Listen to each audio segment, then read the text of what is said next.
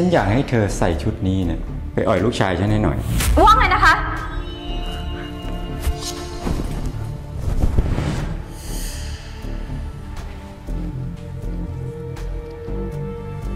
เธออยากได้บัตรแบบนี้ไม่ใช่เหรอเดี๋ยวฉันจัดการให้ แต่เธอต้องทำให้ลูกชายฉันเนี่ยเป็นผู้ชายเต็มตัวซะก่อน ทำไมฉันต้องทำคะ เพราะฉันคิดว่า ลูกชายฉันเนี่ยเป็นเกย์แล้วเป็นเกย์แล้วมันทำไมเหรอคะ ก็ฉันจะให้เขาบริหารธุรกิจต่อจากฉันเขาจะต้องเป็นประธานบริษัท แล้วประธานบริษัทที่ไหนเป็นเกย์กันเล่า